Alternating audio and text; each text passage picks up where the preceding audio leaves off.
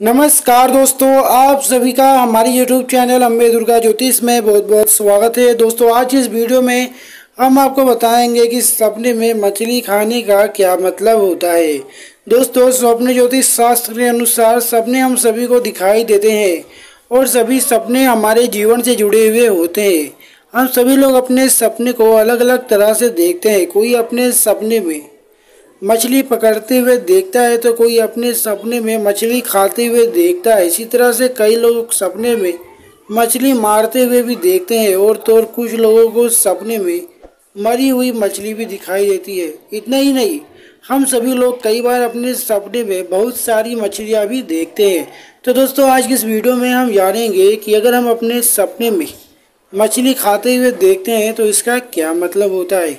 दोस्तों सपने ज्योतिष शास्त्र के अनुसार अगर आपने भी अपने सपने में मछली को खाते हुए देखा है तो दोस्तों, आपको बता दें कि यह सपना आपके लिए बहुत ही शुभ सपना होता है। जी हाँ दोस्तों सपने में मछली खाना जल्द ही आपको कहीं से धन लाभ के होने का संकेत करता है।